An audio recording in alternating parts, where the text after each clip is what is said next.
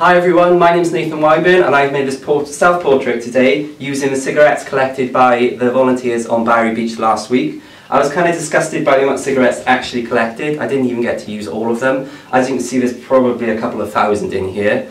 It's quite gross, as you'd expect, um, which kind of, I think, sums up the message pretty well. And I'm supporting Ash Wales because I strongly believe that anywhere that children play, including beaches and obviously school entrances, should be a smoke-free zone. I have a young sister myself, she's only seven, so obviously I feel quite passionate about that. And I've always kind of been anti-smoking myself too, so I'm really pleased to be supporting Ash Wales, and I hope you like the portrait.